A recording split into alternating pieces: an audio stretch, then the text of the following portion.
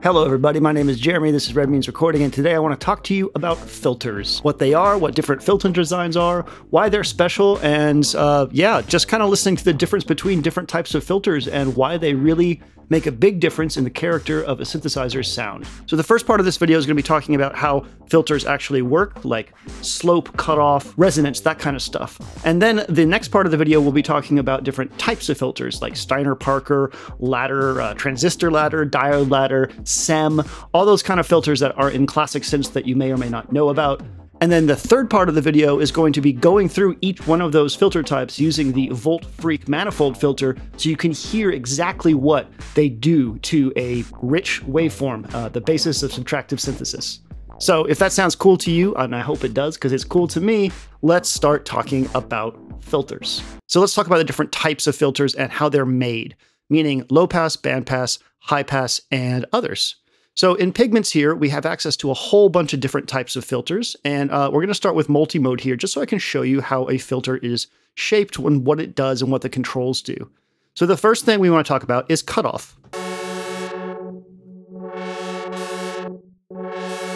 You'll notice that our cutoff here moves the slope, upward slope of the filter down, and cuts off everything above it. This will be different for different filter types, but in a low pass filter, it takes high frequencies out and lets the lows pass through. The severity of the cutoff up here is dictated by a thing called slope, which is related to the idea of poles. So if reducing a filter's cutoff point by an octave, say down like 10,000 hertz to 5,000 hertz, cuts the audio output down to a quarter, it's operating at a 6 dB octave cut.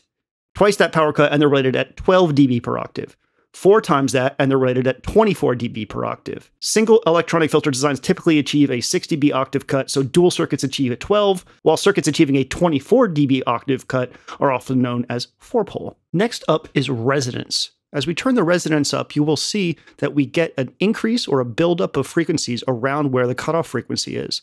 So in this case, our cutoff frequency is all the way up at 20,000 hertz or 20 kilohertz. And as we turn the resonance up, we get a little point there. Resonance is going to be a big character part of the filter. And when we get into the different filter type demonstrations, we'll be definitely applying resonance at different amounts so you can hear what that sounds like. So what other types of filters exist besides low pass? Well, low pass is going to be mm-hmm. one of the most common ones that you deal with in order to get that sort of classic electronic music sound, especially when you assign something like an envelope to it. When you assign an envelope to a filter, depending on the envelope shape, you move the filter in time to get different sounds.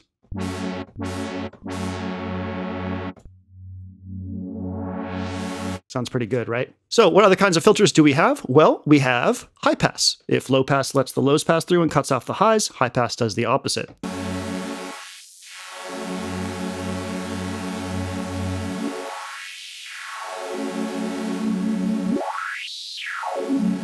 Bandpass, sort of a combination of a high pass and a low pass.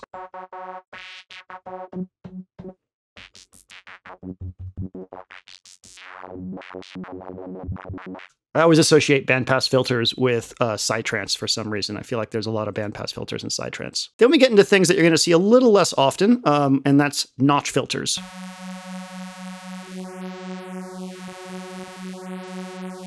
Notch filters are also called band reject filters. And uh, if you put a whole bunch of these together, then you get a phaser.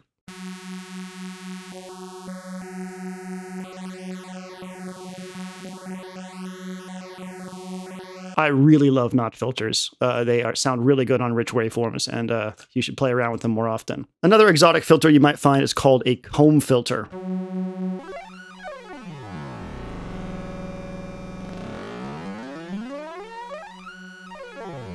So a comb filter creates a series of evenly spaced bands or notches that resemble the teeth of a comb when excited by a resonant frequency. The teeth are created by constructive and destructive interference. A group of comb filters is often used in parallel to resonate multiple frequencies of a signal. A short delay with feedback can create a comb filter as well. They just...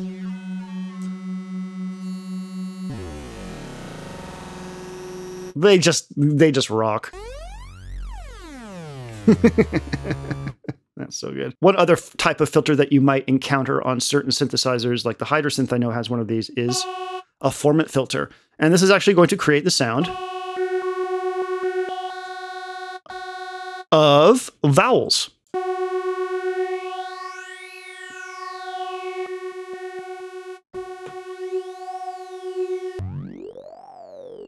Yeah, there we go.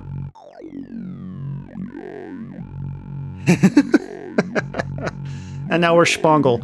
So low pass, high pass, band pass, notch, or band reject, uh, which is also could be a phaser. Um, low pass gate, shelf, comb, and formant. Those are the different types of filters that you'll generally encounter. Now that we've talked about those, let's talk about the different types of filter architectures and their history. I want to mention that a lot of the stuff I'm going to be reading about the historical nature of these filters comes from a couple sources that I'll link in the video description. There's a couple articles out there that go deeper into this stuff, so I encourage you to read those if you are interested in getting a little bit more insight. So first up, we have ladder filters. Ladder filters came from Moog in the mid 60s. It's a low pass filter, it was first of its kind. Uh, it has a 24 dB slope and a fat sound when driven. Drive usually uh, does some good stuff to filters, so you should give it a try. The Roland 303 is actually a different form of the ladder filter, where the Moog filter was a uh, ladder transistor or transistor ladder filter. The Roland 303 and the EMS VCS3 Putney were diode ladder filters. Tim Stinchcombe uh, has given insight into this, saying, uh, the resistor chain used to bias the transistors in the Moog ladder filter meant that the voltages in each filter section are separated, which effectively means that the sections are buffered from each other. The isolation is simply not present in the diode ladder. The loss of isolation makes for a different pole placement and makes the poles move differently than Moog's when you tweak the diode ladder's resonance. The more you know. Next up, we have Steiner-Parker filters. So Steiner-Parker filter is a term invented by Arturia. Uh, from what I understand, it's actually in reference to something called a Sallen-Key filter. They have it in the Brute synthesizers, and it's a reference to an early synth design called the Steiner-Parker Synthacon. It has a gradual 12 decibel slope, and the filter will attenuate less aggressively, but you can still get a range of filtered tones, including aggressive ones because of the brute factor, which pipes the output of the synth amplifier back into the input of the filter. And as somebody who has had uh, the Mini Brute series, um, I, I, will say that the filter sounds really good. Uh, it's one of my favorite sounding filters of a hardware synth, especially a budget one that I've played with. Now let's talk about ARP filters. Uh, I have done a video on the ARP 2600, and its filter is very unique. I can attest to that. Um, so Alan R. Perlman was developing a modular synth design that could be programmed without patch cables. Him and his engineer Dennis Colin came up with a 24 dB octave filter that was suspiciously familiar to the Moog. So apparently they did some research into it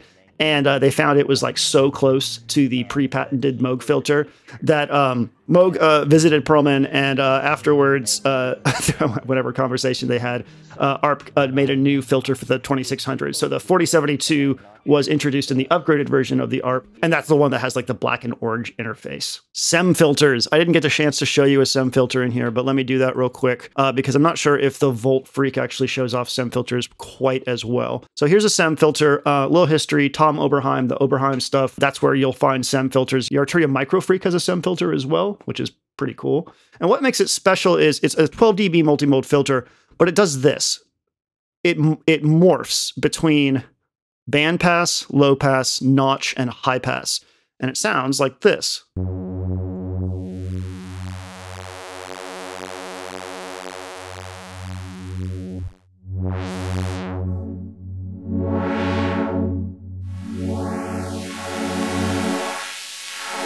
So remember how I said notch filters were cool? Well, we can get a notch in here. And I think a lot of the OB sound comes from the fact that we can like have these really cool morphing notches and band passes and stuff like that. Those generally have like a lot of character to them. Ooh, next up, Korg filters, 35 and the OTA. So the Korg MS-20 is like one of the most famous uh, synth sounds that exists out there. It's known for being really aggressive, um, a lot of amazing bass sounds have been done with the MS-20, but also lead sounds too. And I think in great part that's because of the filter. So it has a resonant 6 dB uh, octave high pass and a resonant 12 dB octave low pass in series, allowing for the creation of bandpass filtering.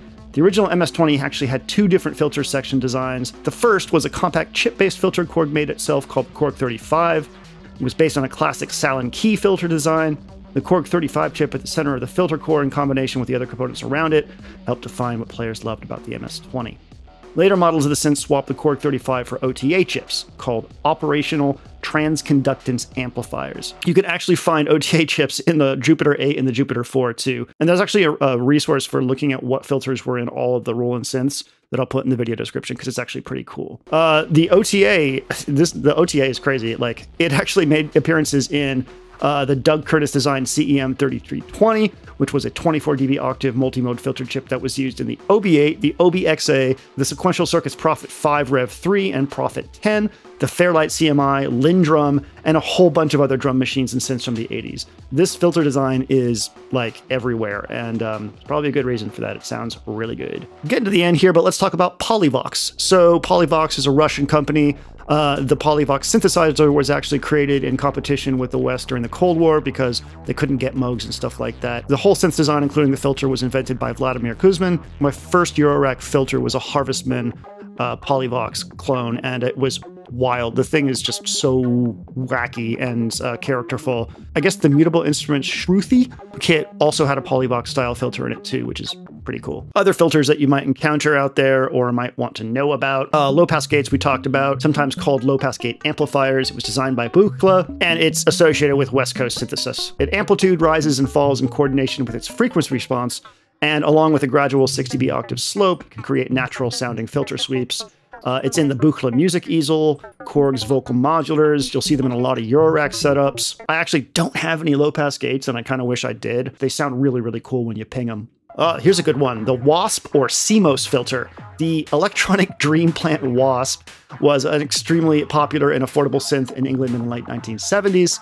Um, it had a 12 dB octave multi-mode design, and you will see it in the Bass Station, Bass Station 2. There's a Doepfer clone for it, and I know that like the peak filter is actually somewhat based around the Wasp design too. Uh, the person that invented it was working at Novation until they passed recently. So Wasp filter, don't sleep on it. It's got a lot of character to it, and it's been upgraded over the years. Last one before we get into the sound demos, and that is just to talk about the the Z plane filters, which are legendary to me uh, because they were a really big deal in some of the sounds of drum and bass back in the day. Um, so the EMU Morpheus module in 1993 had 193 different filter types. Um, and there was like this ability to morph between them. Um, Rossum Electronics actually makes a Z-Plane Eurorack module now um, that allows you to use this cube design to morph between different filters. And as you've seen in our demo so far, like if you could morph between like a vocal formant filter, a comb filter, a bandpass, and like some other like character low pass filter, you would have a very interesting experience. Um, uh, just filters are so really cool and so important, and uh, the Z plane filters still, um, you know, they still blow my mind, and I still wish I could get one as a plug-in or something like that. That'd be super cool. All right, enough talk. I'm going to bring up our demo station here. So what do we have? We have Pigments running a really basic analog patch.